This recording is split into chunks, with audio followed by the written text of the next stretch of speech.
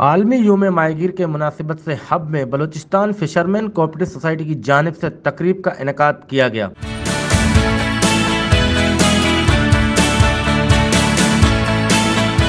तकरीब में माहगिरों को एजाजी शेल्ट और अजरखें पेश की गई आलमी योम माहगिर के मौका पर बी सी डी ए के कोऑर्डिनेटर अब्दुल रऊफ रिंद ने कहा की हम साहली इलाकों में सेहत के साथ माहगिरों की बका के लिए इकदाम कर रहे हैं। देखें ये जिस तरह आज ये बलूचिस्तान में पहली बात तो ये है कि ये दिन पहली दफ़ा हमने जो है सेलिब्रेट किया है। इससे पहले शायद किसी को पता भी नहीं था बलूचिस्तान को इस दिन के मुनासिबत से।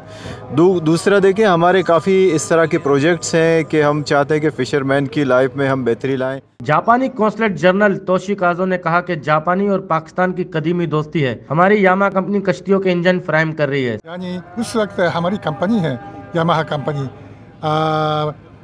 किश्ती के बाहर लगाने वाला इंजन है माहीगीरों को फरोख्त करती रही अब भी है करती रहती हैं। और उसी में यानी सुजुकी कंपनी भी शामिल हो गई। और गदर में सुजुकी कंपनी का जो शोरूम क्राफ हुआ है और उसी में भी इंजन फरोख्त किया जा रहा है। चेयरमैन सरदार कामरान लासी का कहना था कि मैं खुद एक माहीगीर का बेटा हूँ। मुझे माहीगीरों के तकालीफ का एहसास है। मैं खुद फ़िशरमैन हूँ फ़िशरमैन का बेटा हूँ।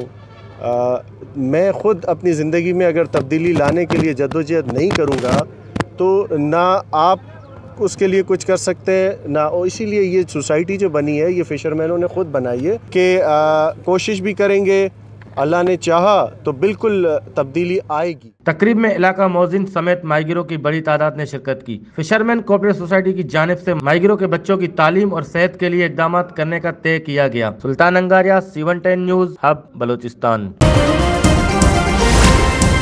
C one ten news खबर की असल खबर।